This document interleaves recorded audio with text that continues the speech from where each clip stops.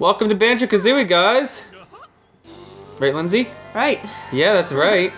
We got Max and Lindsay here from Game Face, and we're gonna play Banjo Kazooie. Yeah, we are. Mm-hmm. It's gonna be awesome. This is what your your favorite game of all time? Is that right? Yeah. Hmm. Quite it? possibly, yes. Yeah, right at the top there. It's pretty. It's like probably in top three, Nobody- possibly the top. I'm is, not. Is it's hard to anybody competing with it? Do they like, fighting for first place? Microsoft. Look at Banjo's mad. Fuck that shit. I want it on Nintendo. Well, I'll just play a nice tune. He's just trying to like forget about the fact that he's in a shitty game eventually. he's like, eventually I'll just be making cars, drive around cars. the desolate wasteland of Banjo Kazooie Land. That game could have been good. It just could've feel it felt like un- unfinished product. Yeah, it just felt exactly, or Banjo Kazooie Nuts and Bolts just felt like they were starting to make Banjo 3, and then somebody looked at it higher up and they were like, let's turn this into a car building game. And then it was. And it was a de- desolate wasteland with nothing to do. It was very disappointing. So yeah, let's play Banjo Kazooie. This is on your file because on my file I have 100%. 100%. Now I want the bowl of the soup. No, I like Game Boy. Fine. Fine. Here we go. Your favorite game, Lynn. One of So- them. I can't choose. Who, who's in com- competition for like second and third runners up? I don't know. You don't know. One of the Tales games is. Which one? I don't know. Vesperia? Symphonia? Please. Xillia? Between no, Abyss? not Exilia. As much as I loved Exilia. Ding pot, ding pot by the bench. Who is the nicest nook and wench? Oh, it's crunchy. Any day, she really takes my breath away. we're not. We're she not. used to Gonna... scare me as a kid a bit. She was a little scary. I found her scary. I don't, but I still love the game. She kind of looks like me. I think. Yeah. Yeah, I think we're pretty similar. I dress like that too. pot's like, well, there's this other girl I've been seeing on the side. she stirs me real good. She's Tooty, which she likes. Toot, toot, toot, toot, toot, toot. I get it because she plays a flute and the flute goes toot. It's just odd how it just seems like such a generic platformer, kind of, when you think about it, but it's awesome. How so? I don't know, It's just weird. It's a weird combination of characters. They just threw them into a pot and they're like, okay, a witch and a oh, bear. I get what you mean. Yeah, like there's a bear and yeah, they're like, oh, what's a, a good, mole. what's an animal there's gonna be a like? witch that's bad. Yeah, it's like, oh, witches, that's good. Okay, what animal? Bears. Okay, cool oh, bear. fucking bear! But it's so good. It is. It's it's just because they nailed the atmosphere and like the Oh. explorability and everything so perfectly. Yeah, the the old guys at Rare knew how to do oh it, hell yeah, they did. and now they're terrible. well, not them, but the company. But there's supposed to be a spiritual successor to Banjo, isn't there? Like a lot Yeah. of the people behind the game who are no longer with Rare are gonna make one, and they said it will have googly eyes and animate objects. Which when they is said that googly eyes, is like, well, I'm sold. Yeah, it's like these fuckers know what they're talking about. So here we have Banjo sleeping in his bed. There's Kazooie. I heard a cat meow. I heard, Meow, meow. I want to play banjo. Here she goes. Oh no. But this game is the one that like cats, fucking cats. Um, but this game's the one that like defined your childhood, right? It's like the childhood game of yours. If I had to think, it's one of the top childhood games. Yes. Look at Tooty. Bottles. Bottles, I want to play with your bottles. She's got like those old school pants we used to, or I used to wear as a kid. It's It's like it's like tight spandexy pants, and then they have like the loops at the bottom. Is that old school? I, That's what to me it is. I mean, when I was super young, I used to wear those. I was reading that when they were first figuring out that they wanted Banjo to be the main character and he had a backpack, they wanted him to have wings and legs come out of his backpack so that he could fly and run fast. And they were like, why don't we just fucking make another character in there? And so that's where Kazooie came from. Hmm. Yeah, I kind of might have been kind of weird. just a backpack that had legs and maybe like wings coming out of mechanical ones or something, like a glider maybe. Yeah, maybe. That wouldn't have been as cool like though. Kazooie. Kazooie's a fucking awesome character. She's hilarious. She is hilarious.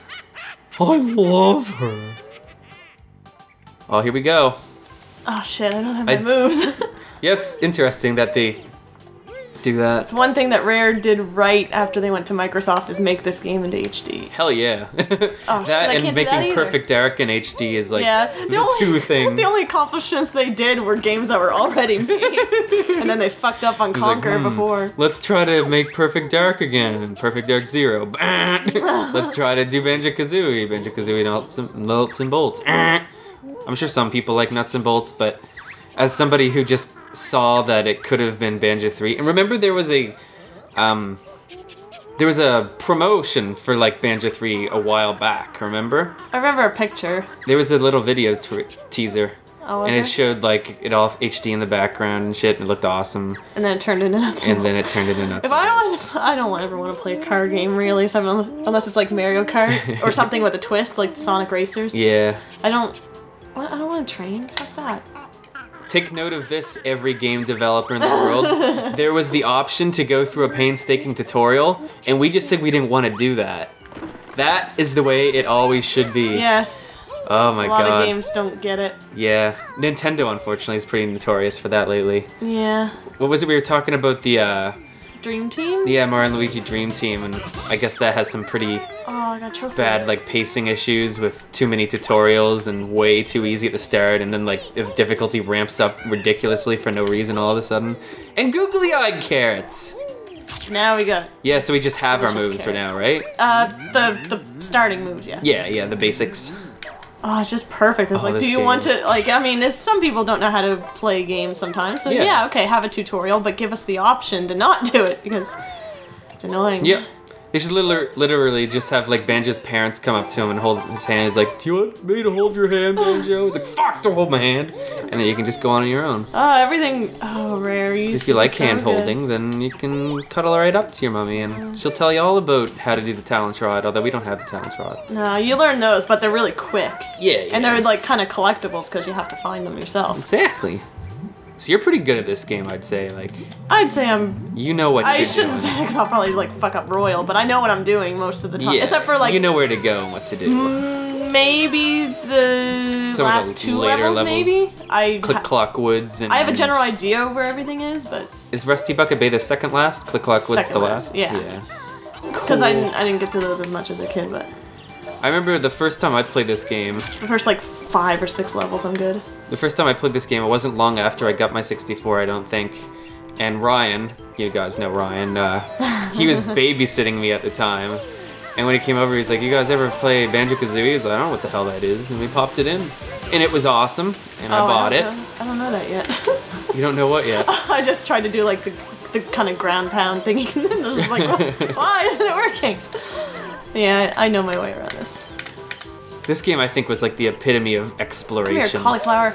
Oh, and cauliflower. the epitome of cauliflower in video games. this game nailed hovering, magical cauliflower with Just eyes. something about rare games. They all seem the same, but awesome. They do. They all have They the have same distinct feel. feel. and like the levels kind of have the same look to Grumpy ass boulders. Get 'em. Just for the record, we will be playing Conker on here as well.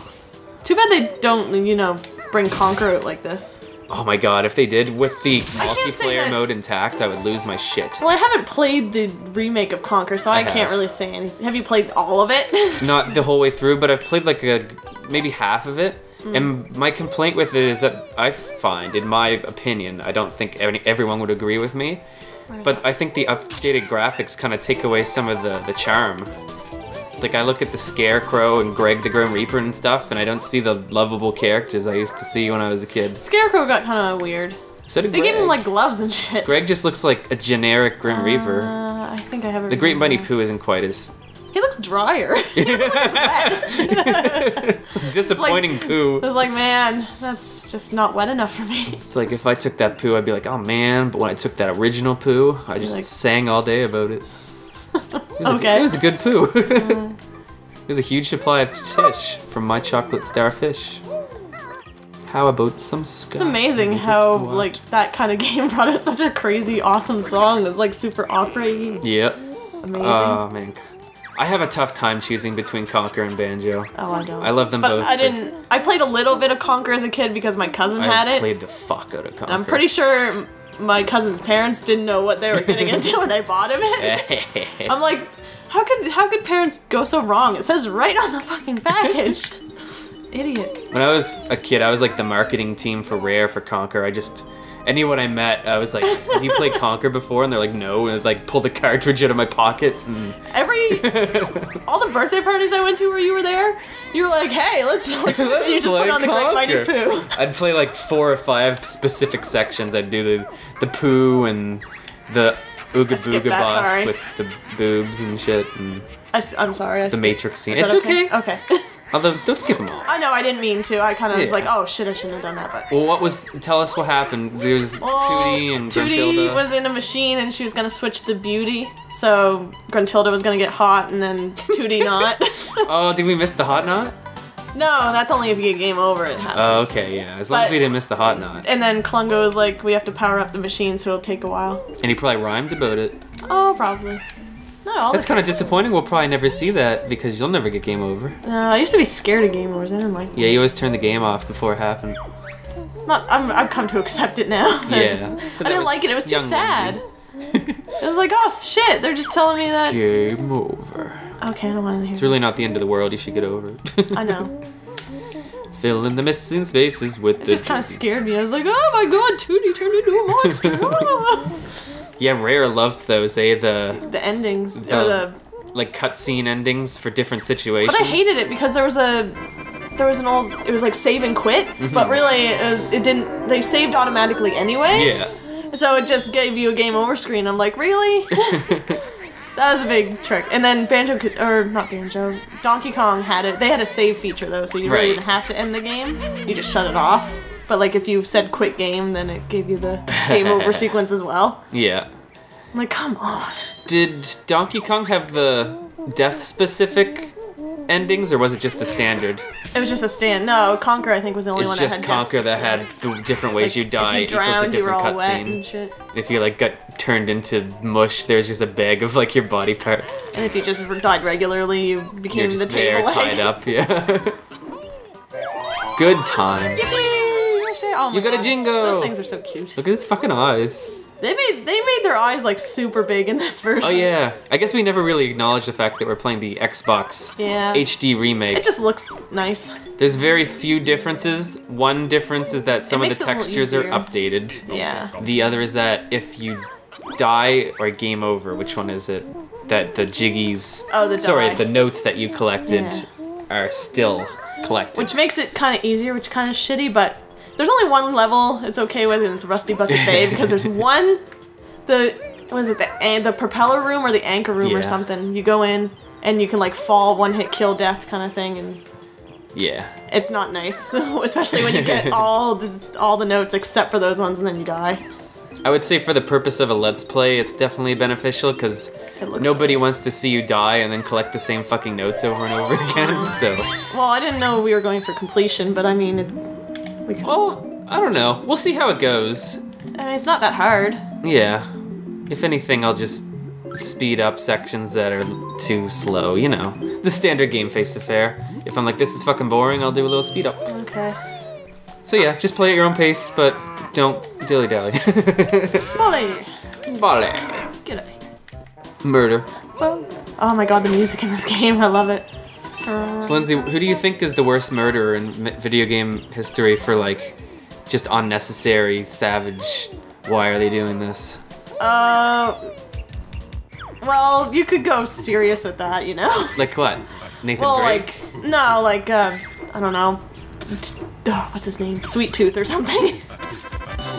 I guess. because that's an obvious choice. But I don't even think I'd pick. Sweet Tooth. I don't think. Because he's a murderer anyway, so I'm like, why would he do that? But that's kind of an obvious. You're thinking like people that are the good guys. Yeah, it's just like less obvious. It's like you're just playing the game la di da di da, but when you stop and Nathan think Drake's about probably it, the worst one because oh, Nathan's pretty bad. He just wants to collect treasure, and any like guard that gets in his way. like they dead. don't even um, They're just have any trying to like feed their family. they don't have any moral dilemmas with it at all. They just like, oh, he's in my way.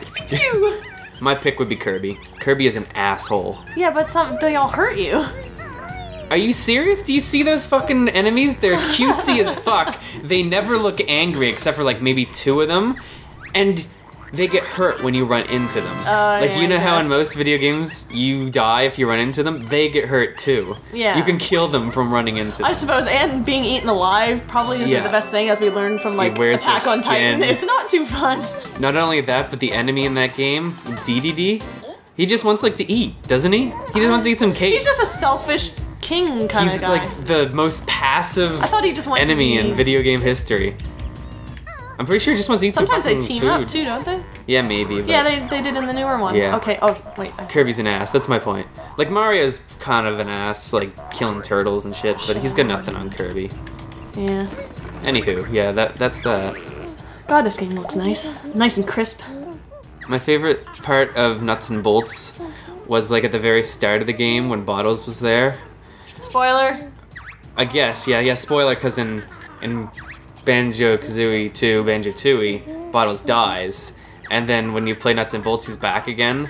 And to kind of just make that make sense, he just comes on screen. He's like, "Hey, I'm Bottles. I died in the last game, but I get over that." and then the, it continues. Right. Also, I found the first part of it pretty funny when they were like super fat. It was. It, it had a good opening. It was funny, and then I was like, oh, and then oh, I it got boring and repetitive and I'm- blank. it was a blank slate. That was my big problem with it. Are you gonna? He's a nice sports bra. It's kind of disturbing. He's wearing a shirt and shoes, but no pants. I don't like that. That's such a. Everything it's does so disturbing. I don't. that. I don't like it. understand why games and television cartoons decide which part of clothes animals should have. You sounded like the camel there. You did sound like the camel. Well, yeah, I guess they did on the the Game Grumps special with Grant Kirkhope on it. They said they had to like reuse, reuse stuff to because there wasn't enough room, Yeah, you just gotta make do. Speed. which is pretty impressive. oh, absolutely. Yeah, it's really cool to think about like all yeah, the they're just like, oh, we limitations they down. have to work like, within. Up the pitch on this, down the pitch on that. I heard there was a shitload of memory issues too. Like just the scope of the game, it was like too much for it to handle. And they had to do like a lot of crazy shit I'm surprised they didn't sure have to need worked the right. they didn't need the like expansion pack like banjo or like uh, fuck I keep calling it banjo Donkey Kong 64 That's did. true. They Very needed, true. That needed the expansion. So did Majora's Mask And Perfect Dark. and Perfect. Dark. I think Perfect Dark was optional though. Maybe just for multiplayer. Not sure. Mm. What else needed it? Did- Star Fox didn't need it, did it? No, that was like no, one of the earliest like games. A, one of the earlier games. yeah. Uh, Conker doesn't need it either, does it? I don't know. If I'm right about that, that's crazy. Because Conker I is beautiful on the system. Hold the right. Oh, we're getting Talon Trot. My favorite Oh move. my god, I can't live without talent. Talon Trot is I the need it. shit. Oh, excuse me. Sorry, I'm, I'm. It's a little late, so I'm allowed to yawn a little bit. We've been like contemplating playing this game all night. It's like, should we play it? No, it's too late. Yeah, you're right. But I really Well, wanna every time I said, "Well, I'm good either way," you go, "Oh, you don't want to watch. You don't want." I'm good either way always means that a girl doesn't want to play something. It's like those secret messages that girls have. Do you hear me complaining? No. Yeah, well, then I'm not a typical girl. I guess. Secretly inside, you're like, I want to fucking play my God, I favorite hate game. I hate my favorite game. this favorite game sucks. Like, yeah. If you were on like a deserted island or something, and for some magical reason you had like a, you could take video games with you and play. If you could take five, what oh would dear it be? God. Let's find out on the next episode. See you guys later.